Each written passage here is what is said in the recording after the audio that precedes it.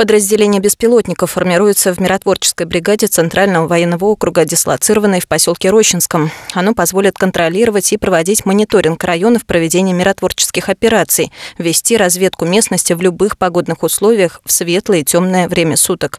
На вооружение миротворцев поступит около полутора десятков современных беспилотных летательных аппаратов. Управлять ими будут контрактники, прошедшие курс спецподготовки.